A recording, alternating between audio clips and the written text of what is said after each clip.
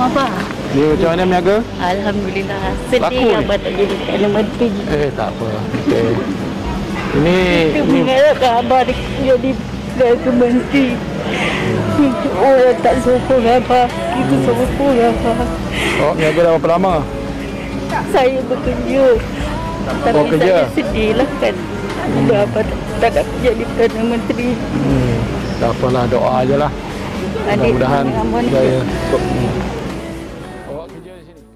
Peletakan jawatan Tan Sri Muhyiddin Yassin sebagai Perdana Menteri mungkin memberikan kesan gembira kepada musuh politiknya namun bagi rakyat secara keseluruhannya ia satu kedukaan.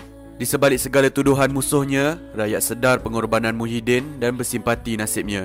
Telah banyak bukti bagi menyokong kenyataan itu namun video TikTok aksi spontan seorang peniaga meluahkan rasa hatinya kepada nasib Muhyiddin amat beruntun jiwa. Video yang berdurasi 57 saat itu mendapat 1.5 juta jumlah tontonan serta hampir 200,000 tanda suka. Lawatan Muhyiddin ke Ion AU2 Setiawangsa Taman Keramat Kuala Lumpur semalam turut dikongsikan di Facebook rasmi beliau. Katanya lawatan tersebut bagi mendengar sendiri daripada mulut peniaga tentang pengalaman dan rintihan mereka dalam berhadapan cabaran mencari rezeki ketika musim pandemik. Katanya ada yang mengadu kepada saya tentang cabaran perniagaan yang dihadapi sepanjang tempoh lockdown termasuk kerugian yang ditanggung. Namun Alhamdulillah rata-rata peniaga menghargai bantuan-bantuan tunai yang telah disalurkan kerajaan sejak Mac 2020 seperti bantuan prihatin nasional dan bantuan khas COVID baru-baru ini.